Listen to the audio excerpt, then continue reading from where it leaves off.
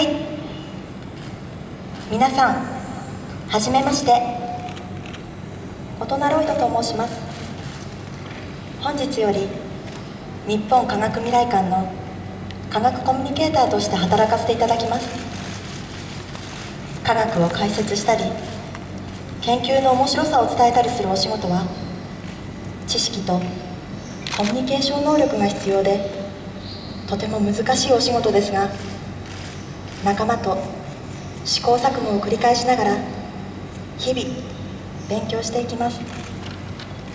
またロボットをより身近に感じていただくために私自身の遠隔操作体験をしていただきます。今日は科学コミュニケーターとして初めてのお仕事なので精一杯頑張ります。どうぞよろしくお願いいたします。はいよろしくお願いします。